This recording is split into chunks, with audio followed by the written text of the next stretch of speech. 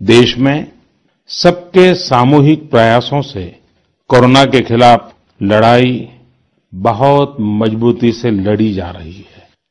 जब हम दुनिया की तरफ़ देखते हैं तो हमें अनुभव होता है कि वास्तव में भारतवासियों की उपलब्धि कितनी बड़ी है। हमारी जनसंख्या ज़्यादातर देशों से कई गुना ज़्यादा है। हमारे देश में चुनौतियाँ भी भिन्न प्रकार की हैं। लेकिन फिर भी हमारे देश में कोरोना उतनी तेज़ी से नहीं फैल पाया जितना दुनिया के अन्य देशों में फैला। कोरोना से होने वाली मृत्यु दर भी हमारे देश में काफ़ी कम है। जो नुकसान हुआ है, उसका दुख हम सबको है।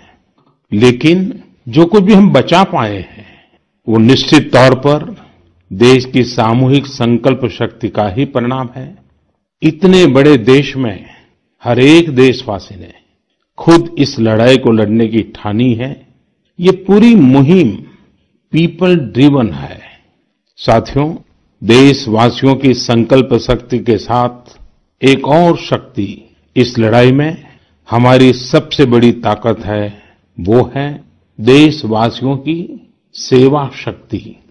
वास्तव में इस महामारी के समय हम भारतवासियों ने ये दिखा दिया है कि सेवा और त्याग का हमारा विचार केवल हमारा आदर्श नहीं है, बल्कि भारत की जीवन पद्धति है। और हमारे यहाँ तो कहा गया है, सेवा परमो धर्म। सेवा स्वयं में सुख है, सेवा में ही संतोष है। आपने देखा होगा कि दूसरों की सेवा में लगे व्यक्ति के जीवन में कोई डिप्रेशन या तनाव कभी नहीं दिखता। उसके जीवन में, जीवन को लेकर उसके नज़रिए में भरपूर आत्मविश्वास, सकारात्मकता और जीवंतता प्रतिपल नज़र आती है।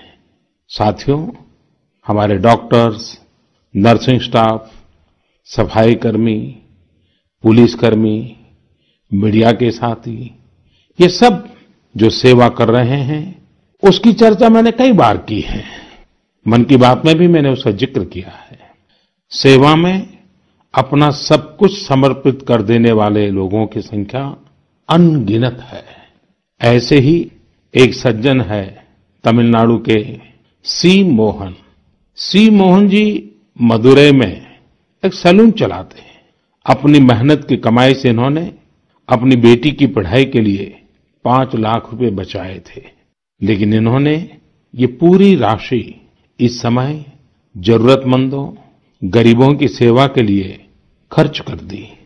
इसी तरह अगरतला में ठेला चलाकर जीवन यापन करने वाले गौतम दास जी अपनी रोज़मर्रा की कमाई की बचत में से हर रोज दाल, चावल खरीदकर जरूरतमंदों को खाना खिला रहे हैं।